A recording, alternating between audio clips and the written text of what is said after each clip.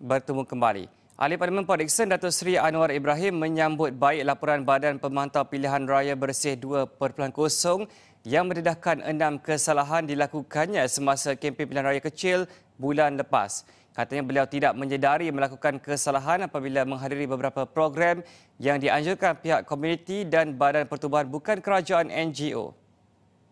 Baik teguran dia dan kita tengok um, secara spesifik apa dia macam katalah dalam majlis yang M. Nasir dan beberapa kawan buat. Saya dijemput hadir jadi saya tak tahu macam mana salah lah. saya dijemput.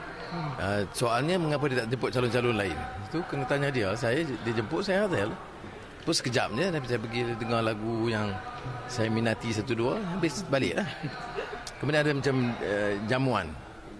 Jamuan yang saya ada saya pergi dijemput kata di uh, kuil Cina ke India ke ataupun bukan saya anjur orang datang macam satu majlis di uh, pekarangan masjid itu di duduk-duduk tu buat saya ingat minum teh tu dia pergi dia makan jamuan gitu.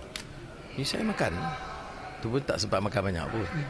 Sebelum ini, Pengarah Eksekutif Bersih 2.0 Yap Sui Sing berkata, Pakatan Harapan didapati melakukan 6 daripada 10 kesalahan pilihan raya yang dikenal pasti. Antara kesalahan ialah menggunakan aset kerajaan dan acara penggunaan anugerah kepada veteran tentera menyaksikan Anwar menjadi satu-satunya calon yang dijemput hadir.